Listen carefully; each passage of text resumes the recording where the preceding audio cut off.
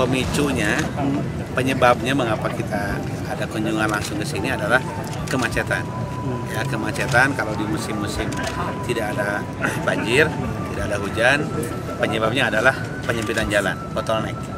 Biasanya penyebabnya adalah eh, apa namanya? Di situ ada bangunan-bangunan tapal semi permanen atau PKL tersebut ya.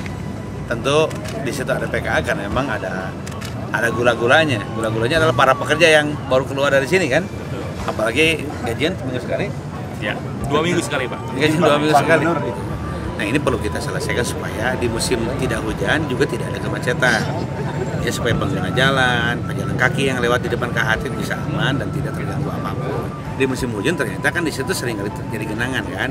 Nah ini yang kita telusuri penyebabnya apa. Makanya kita turunkan tim. Timnya bukan dari provinsi saja, dari dari pusat juga. Apa sebabnya? Sebab pemerintah pusat punya program normalisasi Sungai Citarum dan anak-anak sungainya. Nah tahun depan normalisasi itu gilirannya Cici apa Cikijing. Cikijing itu dekat dengan KHT, dekat dengan perusahaan-perusahaan yang lain. Di sebelah sana ada Indo apa namanya? Five Star, dan banyak di situ. Gitu. Dari mulai hulu, dari mulai hulu Gunung Wayang tuh, ya terus semua anak-anak sungai normalisasi sampai Muara Gembong, ujung Citarum. Gitu kan itu 10 triliun tuh di situ.